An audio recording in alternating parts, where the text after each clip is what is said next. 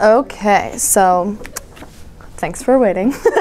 but um, my name's Ari. Obviously, you guys all know me, but some people don't. And um, this is the I'm H optioning our P315 child development class. And so I'm going to go in a little bit deeper into chapter 9, which is about language development. Um, who in this room has taken a foreign language before? Pretty much everyone. Okay, so raise your hand again if you could probably remember the alphabet and most of the numbers, or most of the, some of the numbers, some of the alphabet, a little bit. Okay, does anyone think they could still hold a conversation in the language? Maybe a little bit, a little bit back there. So probably no one would consider themselves fluent in the language that they've taken before. Okay, so what was the hardest part of learning a language and retaining the language for you guys? Verb conjugation. Verb conjugation? Mostly like all the grammar rules and how like certain words like in English go a certain way and in other languages it's not that way at all. Uh huh. I think maybe a lot of pronunciation because I did German and it's really different than Mhm. English, so I remember I had a hard time trying to get the pronunciations right. I'd say they focused more, like in my class, more on the writing and reading versus how to speak Gotcha. hold conversation. Okay, that's pretty much what I was expecting because when I took foreign language, I had the same feelings about it. Um, I'm going to start off with this quick video just because it's kind of funny, but it talks about the importance of um, learning a second language. I wish it was.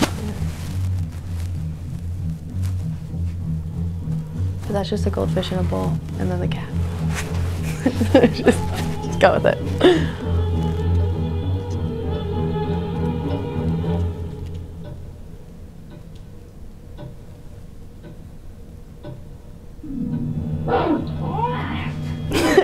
Okay, so there's that. Okay, so this is just an ad for a um, language school, basically, but um, it does show how language is important and how it is useful to know a second one. So, okay.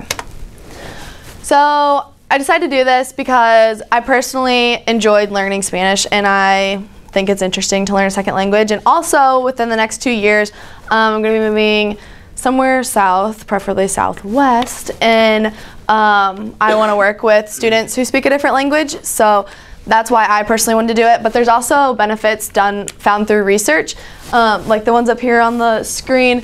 Uh, you get higher, a lot of students have high achievement in reading, vocabulary, and grammar in both their native language and the second language they learn.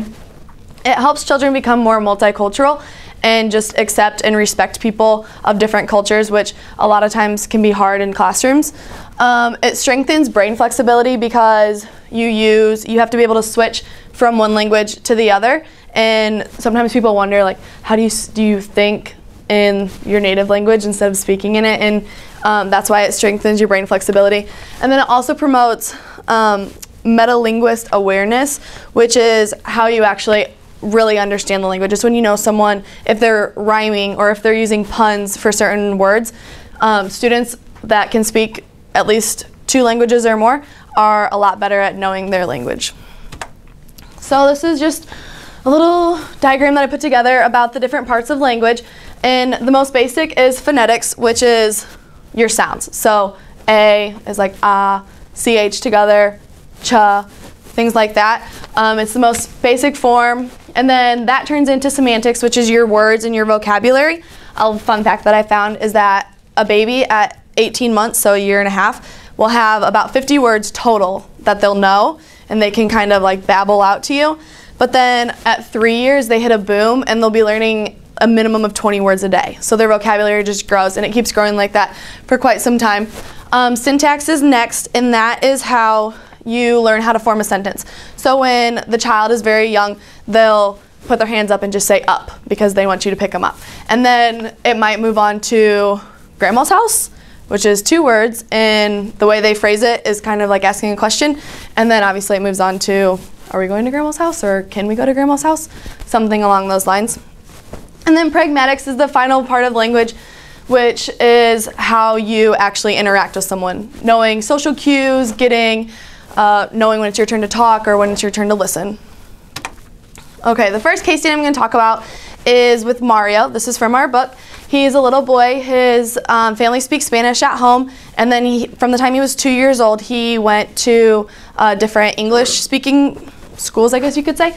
And this is a note that his kindergarten teacher sent home after two months of being in the school and being in the class. And you'll notice a couple things that really stuck out to me is she notices she points out that he's sociable, he talks to everyone, he kind of seems like he's the life of the class. He always likes he always keeps talking, even to a point where um, it's difficult to wait his turn when others are talking because he just wants to say something.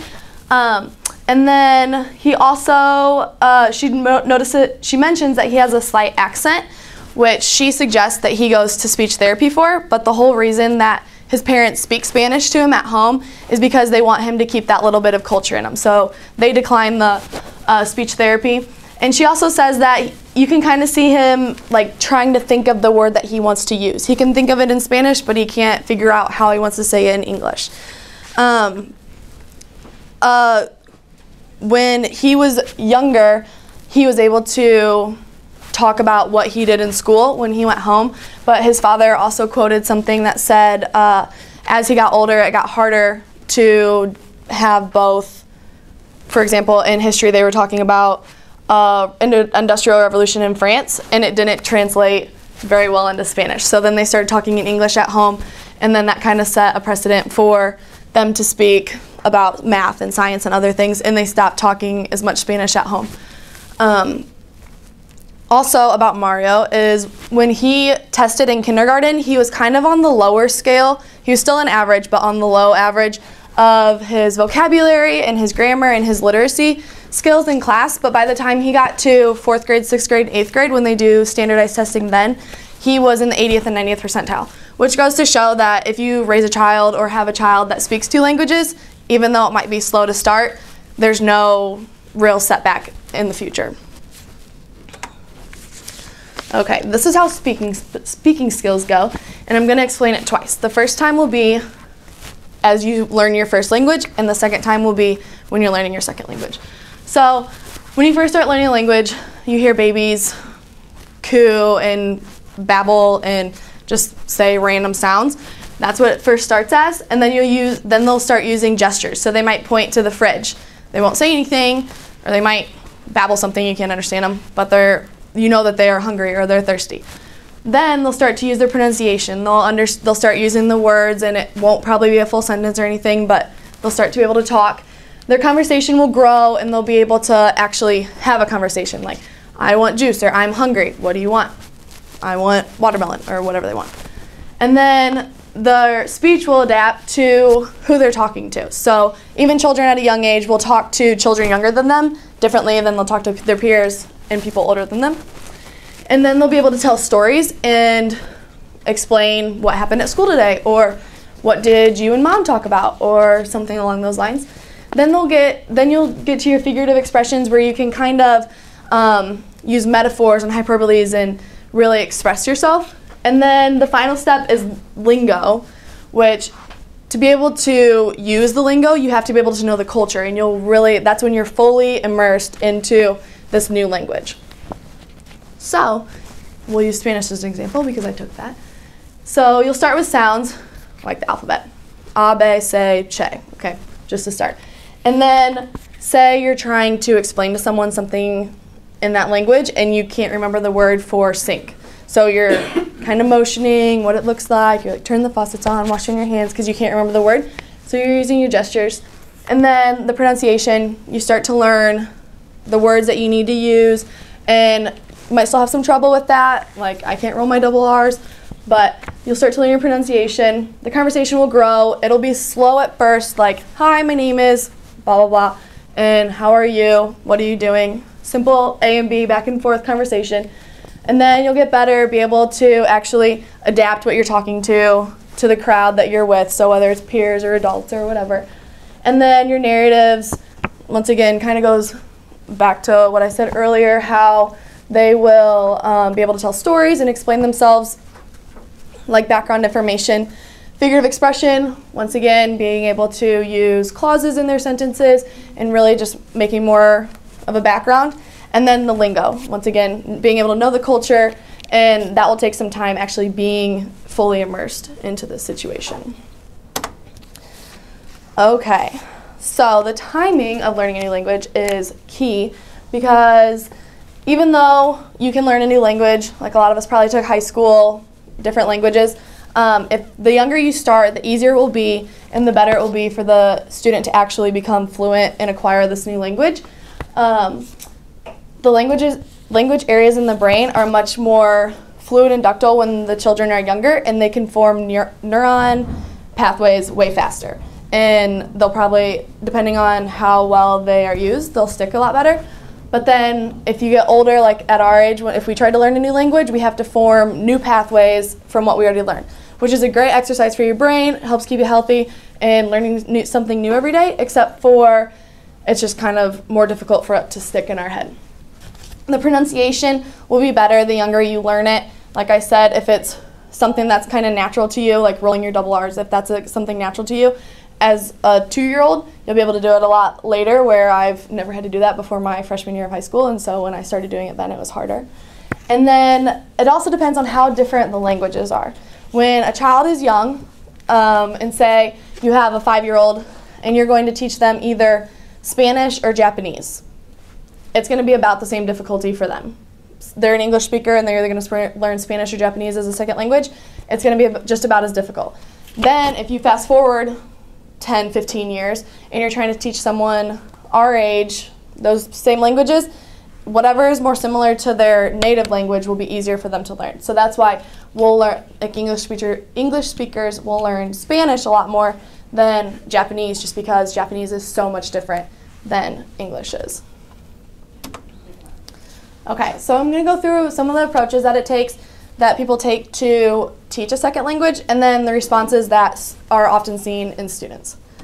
The first one is bilingual education, and this is just um, there's four steps to the bilingual education, and the first will be they'll the children of the native language will have um, they'll both be taking classes, both the ones who speak it and the ones who don't, in like art and music and PE. And then their actual academic subjects, they'll go to an ESL class and then they'll learn them in their native language.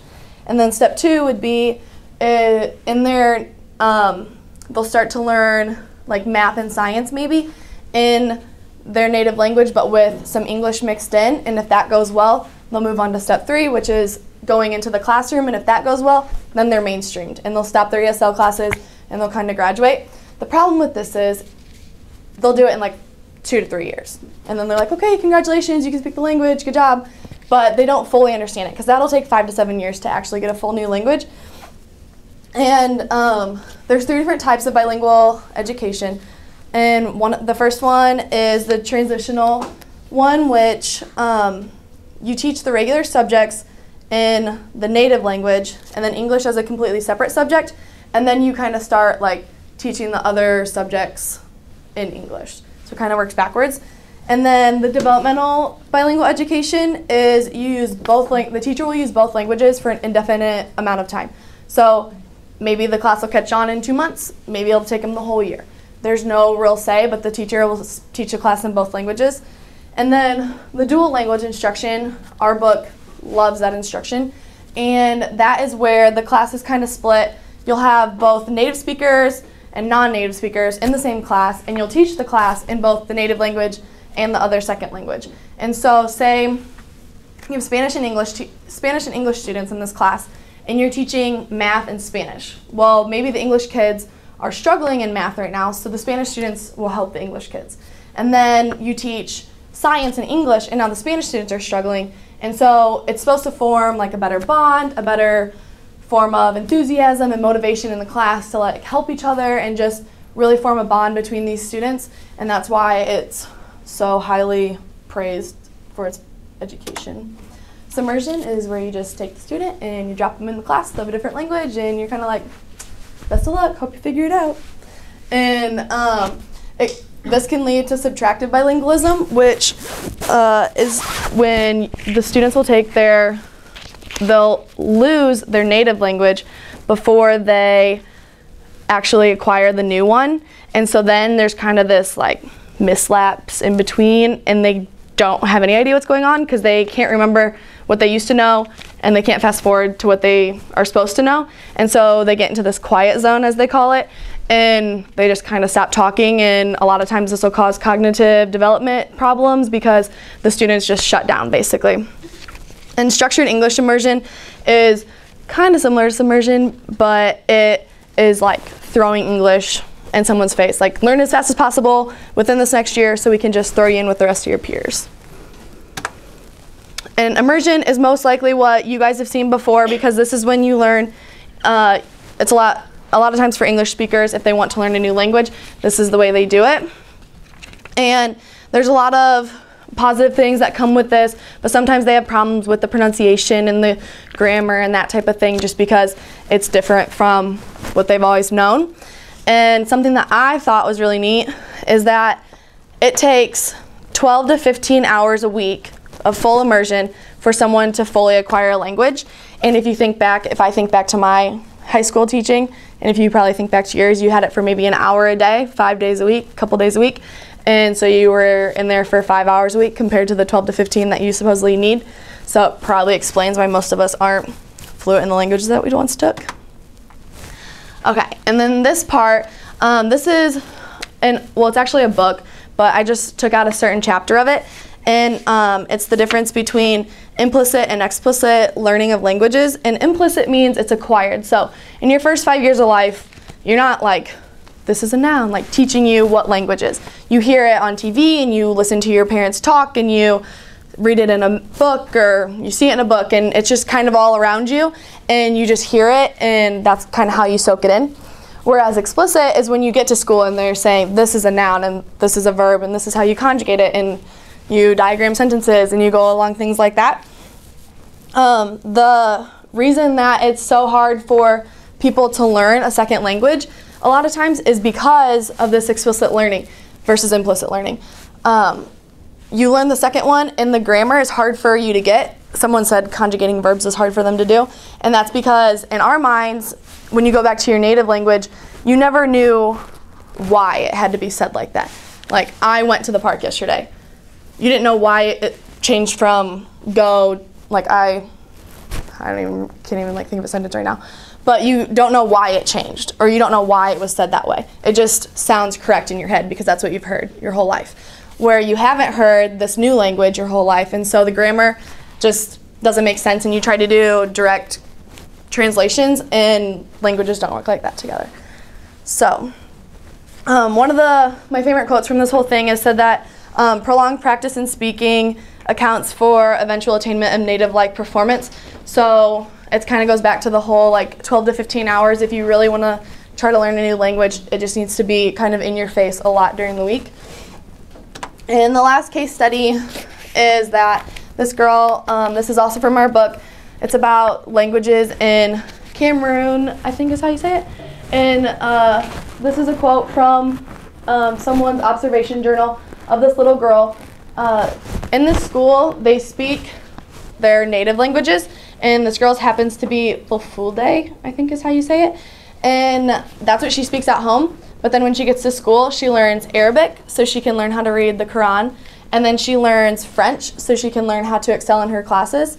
And it talks about the different ways that language can be taught because in her classes to learn Arabic, she it was a lot of repetition. Like, I went here. Now class repeat it back to me. And that's kind of how the teacher taught that. Whereas in her French classes, they were really into um, teaching dialogue and talking to each other and back and forth and working in groups just because that is how they were going to need to use their French language.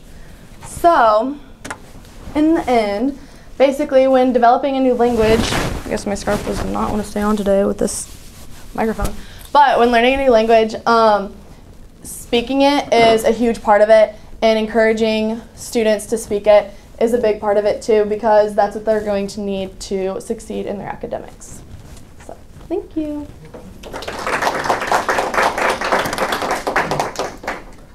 What do you think is the, in your opinion, the best way to teach children a second language? Um, I did a lot of extra research on the dual language one that I kind of talked up during the bilingual education, just because I think that if you have some students, if all of your students don't know something, if that makes sense, like if everything was in English, then your English students would kind of have an advantage. But doing half and half and having students of each um, language will also will kind of like encourage everyone to work together. Um, I think that. Am I supposed to be recording this part on here? Sure. Yeah, I mean, we can always edit. Okay. That's up to you guys. I Um, mean, I think student interaction is good, yeah.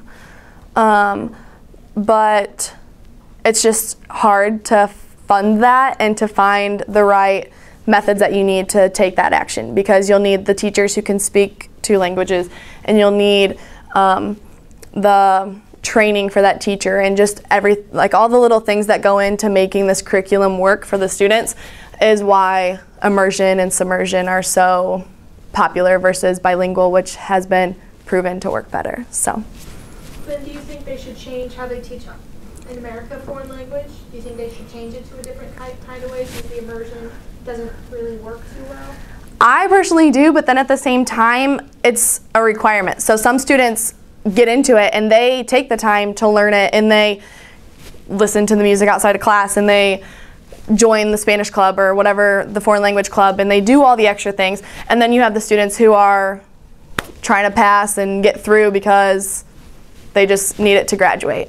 So maybe have an option for students to take that op- like take that next step into the foreign language if they really like it but i think if you spent the money and the resources to do it for everyone it might be a waste of your time at the end Um, uh, at one point you said something about how, like how many hours we need to like they need to spend to learn it like a Mhm. week, and I know we can't do that that in the classroom just because we don't have enough time in the day. So do you think Yeah. Students should just like spend time at home on their own time, or like how should they make up for those hours? make up like you know, yeah. for elementary students or for Well, like just in general, because like I feel like you were right about how many hours we spend. Like five hours a week is obviously not enough. yeah But I just I don't know how we can make up for those hours, and I'm just kind of curious if you had. Yeah, um, Dr. Smith and I talked about this a little bit, just how uh, there are like the clubs and the outside activities, and depending on the town you're in, I mean, there's, I mean, in Fort Wayne, there's places that you can go if you want to, like, help Spanish-speaking people or work with Spanish-speaking people. There's places that you can go if you want those hours and you really want to get involved in the language, but once again, it kind of, I feel like it kind of goes back to how much you want to put into it. It's you put in what you get out, or you get it, you get out what you put in. Yeah. Both ways. Spanish TV is good. Yeah. SpongeBob in Spanish and things like that. Bailey. Okay, so the elementary schools in our town right now just started doing foreign language. They go to Spanish for 50 minutes Monday morning, and that's it. But then they go to middle school, they have no foreign language, and then they go to high school and they have it again. Do you think it's even worth it to put it in the elementary schools when they only get an hour of it a week and then they go to middle school and get nothing? I mean, because there's nothing in middle school, I don't. I don't want to say it's not worth it because it's strengthening the function of and the flexibility of the child's brain to be able to work back and forth. But I think it's interesting that they do it like for not even a full hour a week for what's elementary school like six or six years or five years. So I don't know. It's that's kind of a tough subject because is it is it worth it? But I feel like the kids probably think that they're cool because then they can like count to ten in another language or they can say hola and stuff like that. You know what I mean? Say my elementary school, we took um, K through five. You had Spanish every single year. And you kind of learn the same stuff every year, but like to this day, I can still count to like 100 in Spanish, and I can say my colors. But like in middle school and high school, middle school it wasn't required, and in high school you could take Latin, German, like All the different options. That, so like I didn't take that in high school, so. because you already had it for so many years. So I mean, I can say a color or a number, and that's about it. So. so is, was it? Do you feel like it was worth it to spending that much time on it? I kind of feel like it was because it's still like you did. A, we did a lot of activities that kind of made you look at like quinceañeras and just like all the different even like aspects. Of The culture of the and not just the language of it. Like Mhm. we had parties, like Spanish parties and stuff. So Yeah. Any other questions?